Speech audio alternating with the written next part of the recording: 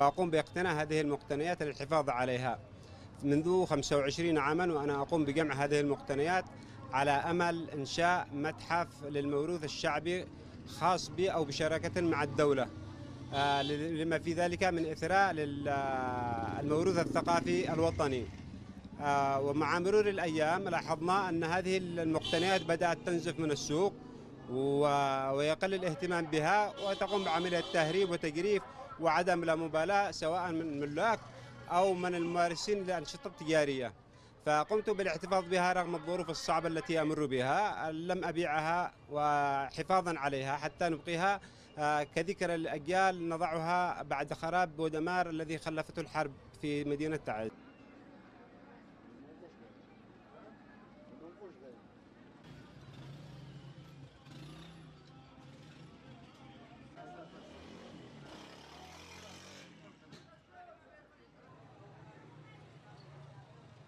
الملعب